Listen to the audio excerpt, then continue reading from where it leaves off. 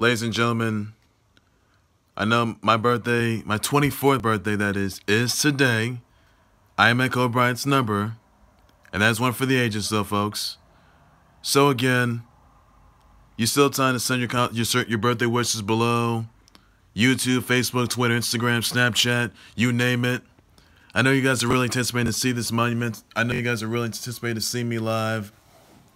So again, send in your birthday wishes, your comments below, and your birthday shoutouts if necessary. I know I'm at Kobe Bryant's number right now, and I know for sure that's a game changer. This is a monumental milestone. But next year in October, 25 years in the making. That's right, guys. If you thought that Khalil 24 or something like Kobe Bryant's number, oh yes. Next year in October, Khalil 25. Monumental milestone right there. That's one for the ages, and that's something you can't afford to miss. And to, as far as today goes, I'm having the time of my life right now.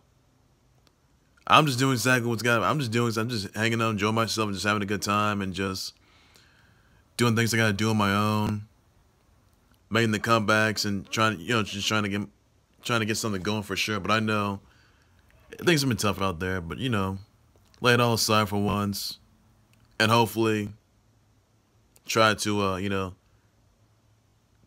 go somewhere where it's all cozy, where I can just get some time to myself and some colleagues of mine. But I know been gone for quite a while though, so you never know what I'll be doing though for sure. So Khalil twenty hashtag you can type in hashtag Khalil twenty four.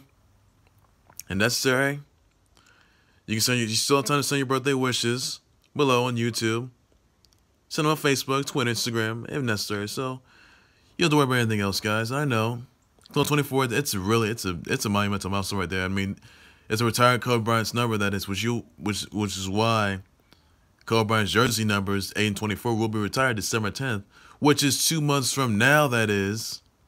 And I know for sure you guys are anticipating to see, anticipating to see what sort of taste I have and, you know, anticipating just to see how much of a main event I really am. But thank you guys for all the birthday wishes and thank you all to just, you know, taking the time to just send your, your comments below. It's really fun to see that, though. So take care, of you guys.